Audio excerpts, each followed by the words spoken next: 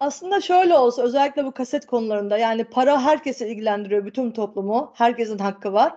Ama mesela özel hayatta Deniz Baykal o zaman şöyle çıksaydı kardeşim evet millet bunu kabul etmez ama bu benim özel hayatım. Yanlışımsa ben bunu e, bunun hesabını eşime, aileme, e, karıma veririm e, deseydi ve beni bu şekilde kullanamazsınız, bana şantaj yapamazsınız deseydi milletin gözünde daha büyümez miydi? Yani bu sevgi, çok...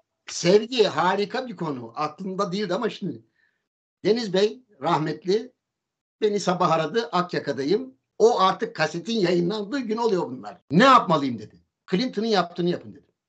Kimi ilgilendirir? Bana bunun hesabını karım sorarsa çocuğu oğlum ve kızım sorar. Bana başka hiç kimse bunun hesabını soramaz. Bana bunun hesabını mahkeme bile soramaz. Benim beraber olduğum kadın da ben de rızaen bu tür ilişkilere girebilecek yaştayız. Yasal hiçbir engelim yok deyin dedim.